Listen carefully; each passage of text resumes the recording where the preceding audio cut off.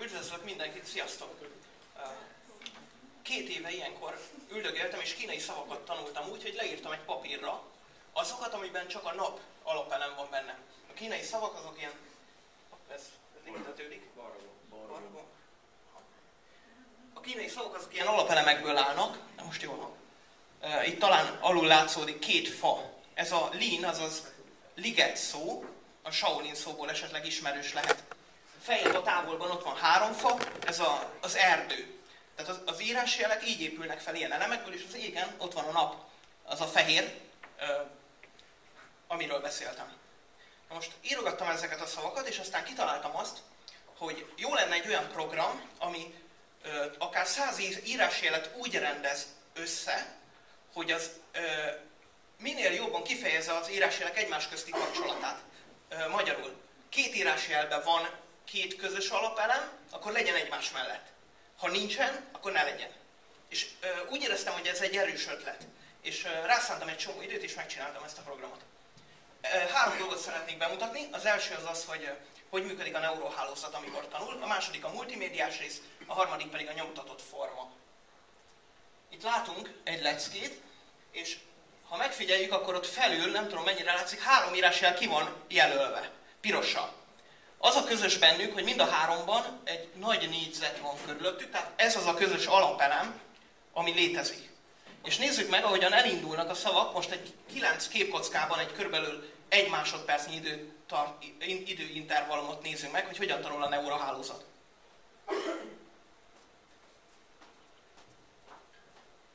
Látjuk, hogy, remélem, hogy egymásra talált a három piros. Bementek egymás mellé, mert közös alapelemeik, közös gyökeik vannak. És ezt az összes írásjel együtt csinálja, minden pillanatban.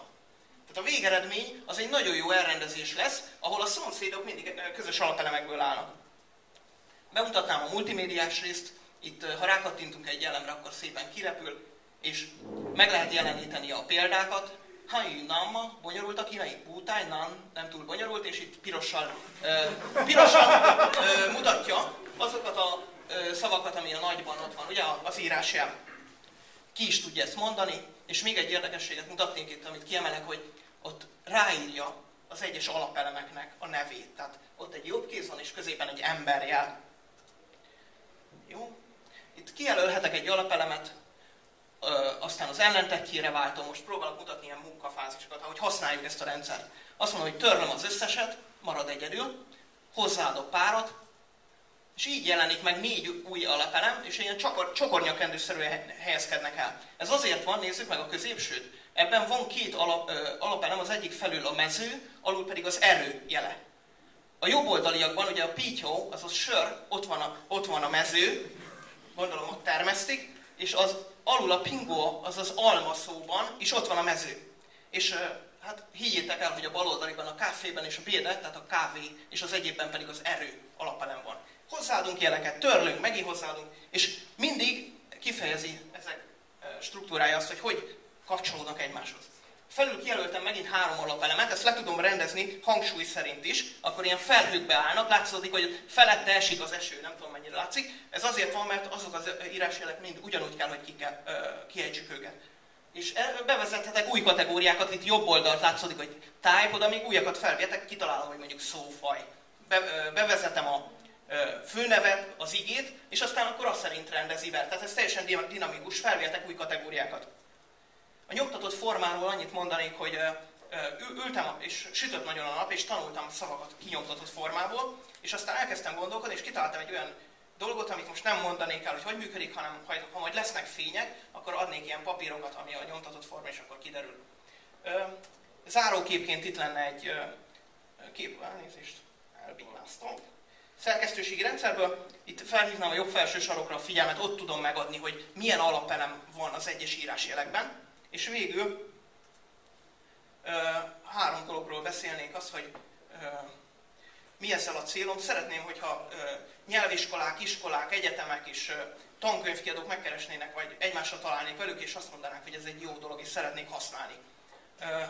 most ott tartok, hogy az ELTE Korea tanszékén dr. Mecsi Beatrix tanárnő vezetésével elkezdték használni a programot, és, és hogy szerintem ez a program jó és használható. És azért jó, mert, mert a, a kínai írásjelek vizualitását azt sokkal jobban megfogja, mint egy táblázatos forma, mint egy szó oszlop, és sokkal jobb vele tanulni. És a másik meg az, hogy ugye van ez a generáció, amelyik a vizet is a monitorból issza, és, és hogy ez talán jobban megtalálja őket, mint egy uh, offline dolog. Uh, ha még időm, akkor úgy veszem, hogy itt a vége. Van egy, van egy uh, szerkesztőségi rendszerről beszéltem, van okostelefonos verzió, ezt akinek van mobilja, az bepötyöghet, és akkor ha rákattint meg, vagy megüti a képernyőt, akkor megjeleníti a, a uh, hang tónusait, illetve a kiejtést, illetve a jelentést.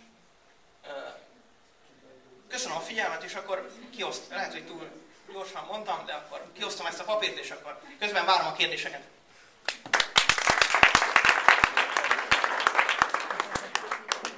Sajnos nem jut, sajnos nem jut mindenkinek, de meg, meg lehet nézni.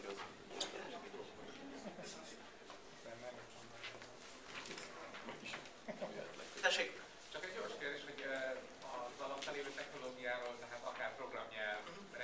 Igen.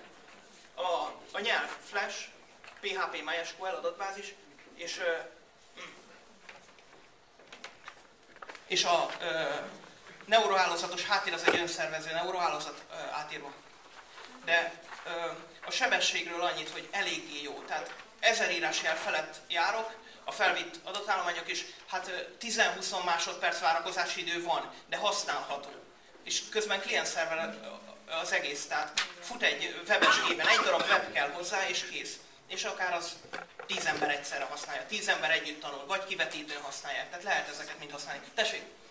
Azt szeretném kérdezni, hogy van egy csillió írásjel, tehát vannak-e már kész adatbázisok, amit kategorizálják ezeket az írásjeleket, vagy neked föl kell dolgozni? Ö, ö, mondom, az én adatbázisomban ezer fölött van, most egy hónapja jártam bent az eltén, és egy dél-koreai származású lánynak megtanítottam, mert ő, neki ez volt a beadandó, hogy felvigye ezeket az írásjeleket, és már a nyolcadik leckénél jár, ahogy láttam. Tehát ez létezik, mondom, az én verziómban ezer fölött van, és bírja, bírja, tehát ö, ö, közben látom, hogy mindenki itt a fény felé fordítja, és akkor kiderül, hogy miért érdekes.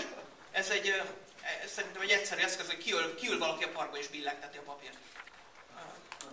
Tessék. lehet, igen, Japán is. Én dél-koreit nyáron tudtam meg. Tehát én azt hittem, hogy ez, ez csak kínaira jó, de a dél-koreaiak is tanulnak kínai írásjeleket, arra használható, és japánra is, igen. Olyan, hogy spanyolról németre nem, tehát arra nem jó. Ezt nem hiszem, szálltam. De örülök, hogy így sültem. Tessék. Jó.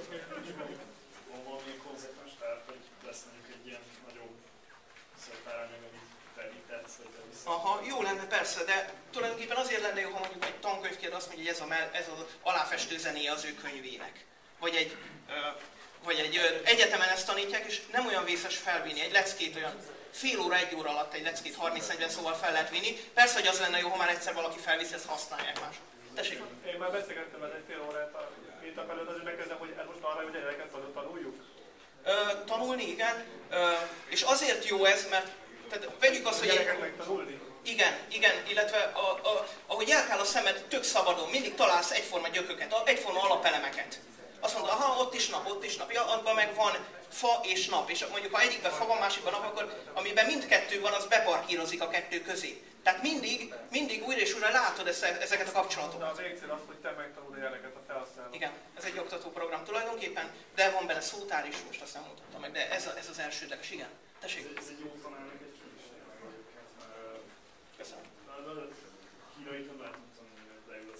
igen, igen, tehát hogy valahogy berántani azt a figyelmet, mellőlem két csoport fogyott el, amit tanultam. Tehát, tehát így, így töltek el az ember, és akkor így átraktak egy másik csoportba, tényleg. Tehát, tehát az, hogy, az, hogy a figyelmet lekötni és megragadni, és pont a vizualitáson keresztül, ami érdekes, ez, ez szerintem nehéz, és ez a program ezt tudja. Vagy de csak ilyen tanulással jó vagy gondolkoztál a más területre is? Nem gondolkoztam. A, a, maga a billegtetés, meg ez, a, amit láttok itt a papíron, az másra is jó, persze. Free licensz. Tessék. Én azt szeretném megkérdezni, a kínai az nagyon nagy nyelv, nem? Tehát ennek így kb. reálisan mekkora részét tudod ebbe belevenni? Mondom, hogy ezer szó fölött volt, vannak ilyen vizsgák, van olyan, hogy mondjuk 2500 szavas vizsga, 5000 szavas vizsga, azok már komolyak. Tehát azokat bírja, tehát 5000 szót nyugodtan fel lehet vele venni, és működik. működik. Tessék, kérdeztem. Azt akartam kérdezni, ennyire konzekvens nyelv kínai, hogyha az elemeket felismered, akkor tényleg összeállíthatóak a Nem. fogalmak? Épp az, hogy nem. És ezért jó ez a rendszer, hogy legalább próbálja felé taszigálni az embert, hogy mégis találjunk bele. Mondjuk ez most azok a példák azért nagyon barátságosak voltak, de igyekeztem, igyekeztem. Tehát a másik baj, hogy mondjuk van egy tetőjel, de van olyan, aminek egy vonás van a tetején, és olyan verziók vannak. Tehát, hogy a, a rendszer azt is tudja, tehát azt mondja, hogy az a kettő ott egyforma, de csak hasonló, és akkor is egymás mellé megy. Tessék! Megnézted, hogy megnézted, hogy mennyivel tudnak ezzel gyorsabban tanulni? Van valamilyen csoport? Ö, Próbáltam. Felvittem? A, a sebesség az 10-15-20 másodperc alatt beáll stabilban a neuroháló. Ugye az emberek sebességet, Ja, én azt érzem, hogy ez jó, egy módszer. Tehát az írást például úgy szokták tanulni kínait, hogy mondjuk tízszer, százszor leírnak egy szót. Egy ilyen rutin, egy monoton, rutinos dolog. És az is működhet. Tehát az egy másik módszer. Én azt érzem, hogy ezen a papíron, ahogy el- elhelyezkednek, az segít ebben. Pont azért, pont azért mert uh, villámgyorsan berendeződik egy olyan struktúrába az írásjeleknek a halmaza, ami nagyon kifejező. Ennél kifejezőbb nem lehet. Tehát, és uh, ezért. Köszönöm. Uh, lehet. Köszönöm a figyelmet!